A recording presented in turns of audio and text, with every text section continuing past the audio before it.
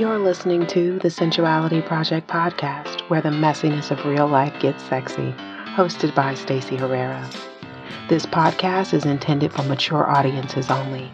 Episodes contain profane language and topics of a sexual nature that may not be suitable for children. Listener discretion is strongly advised. Welcome to 2019. Do you feel different? Probably not. I don't really feel different yet either.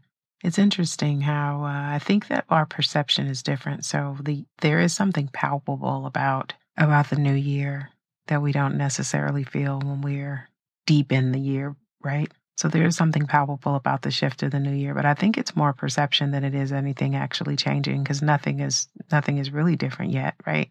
I think that it's interesting, you know, I was the internet was was rife with a whole bunch of stuff about how hard 2018 was and I I didn't have an easy year either.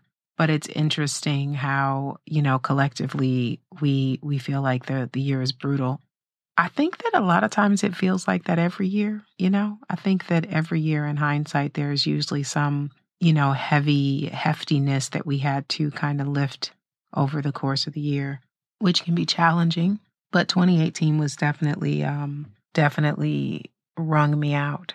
But I think a lot of people feel like that.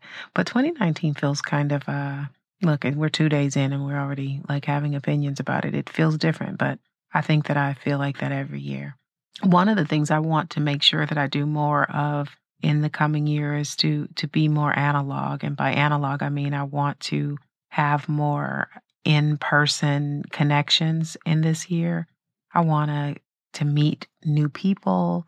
I want to like make some real solid friendships with people that are local to me so that we can do local things. I also want to read more fiction this year. I that was something that I wanted to do last year and I did accomplish that.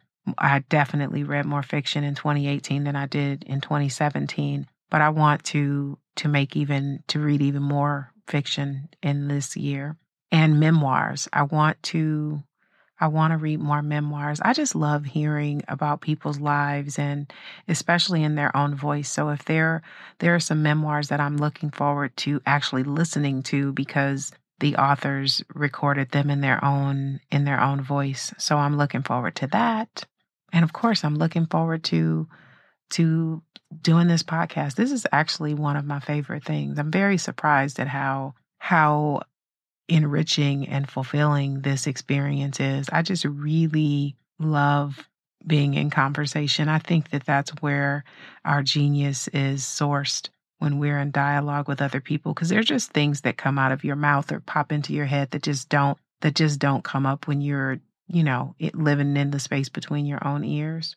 I mean, sometimes, you know, you go on these riffs and it might be the first time you ever said that. And it's just because you're in dialogue and when there's an exchange of energy, I think that that's when we shine the brightest. So, connection, I think, is the point.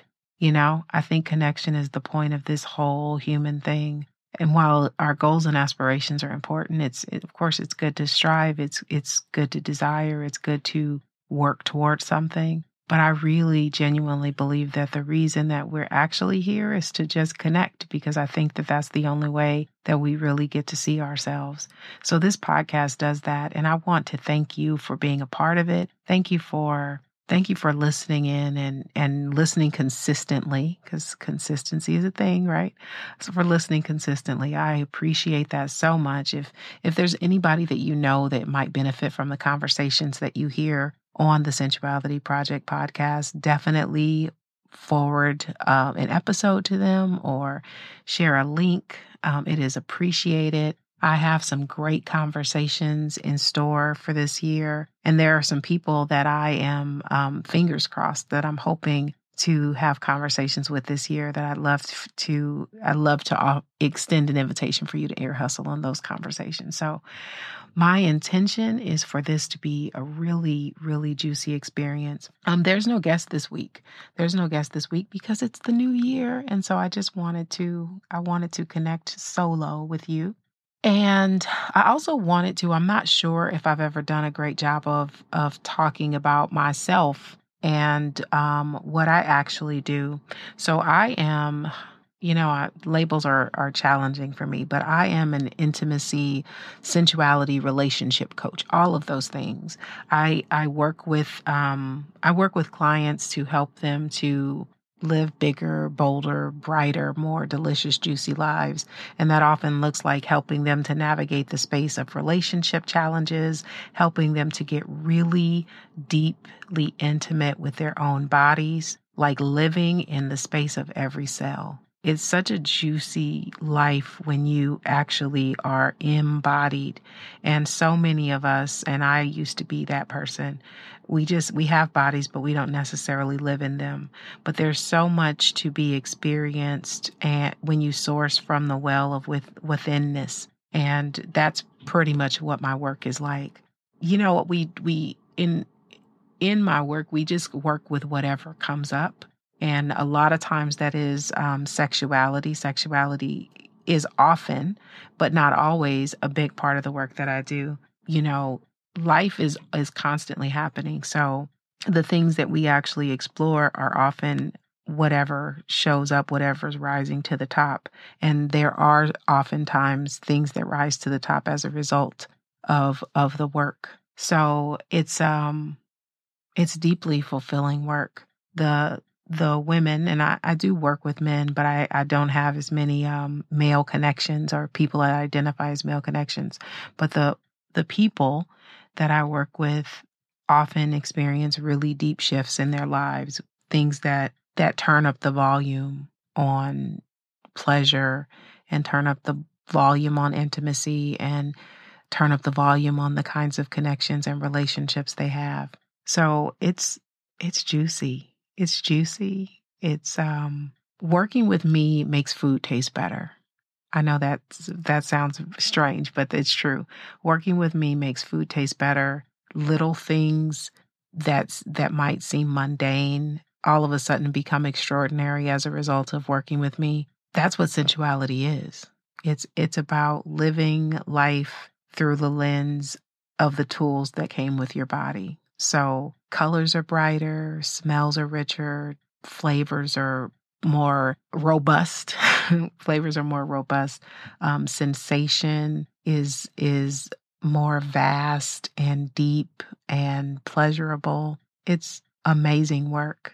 It's amazing work. It's an amazing way to live because it's it's really about a lifestyle. It's really about cultivating a lifestyle of embodiment if i could sum it up in in in a sentence i would say that that's what that's what working with me looks like. So if you're curious i'd love to um, i'd love to invite you to have a consultation with me and you can actually book a consult on my website um, staceyherrera.com if you go to the work with me page there will be a button where you can click to to have a consult. A consultation is absolutely free. So there and it's no obligation. So it's just, you know, me and you having a conversation about what's going on in your life and and seeing if if working with me would be a great fit for you. So I invite you to do that. And let's see, what else did I want to talk about today? Um you know it's not as easy to um it's not as easy to talk when there's no one talking back. That's the reason that dialogue is important. Um but mostly mostly um i want to i want to wish you a really expansive year. And i just sent out a newsletter this morning and i would love to to to wish the things to you that I wish to the people that subscribe to my newsletter. I hope you're on the list. I say really great shit in my newsletter. But anyways, I hope that this is the year that you commit to being consistent as fuck. I hope that this is the year that you dust off your dreams and go after those bitches. I hope that this is the year that you prioritize your pleasure I hope that this is the year that you breathe deeper, stretch farther, and put your truth where your mouth is. But more than anything, I hope that this is the year that you live in the room because that's where all the good shit is happening. I hope that you can just stay really present even when it gets uncomfortable so that you can experience life in real time, in all dimensions, and know that even the discomfort, even the stuff that doesn't feel great is temporary. So it'll pass.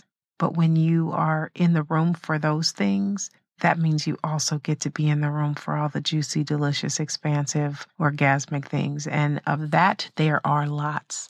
So that is my wish for you. And I will be back week after next. So I guess that would be January 16th with with a new episode with a new guest i'm talking about real shit and you get to ear hustle on all the juicy conversations.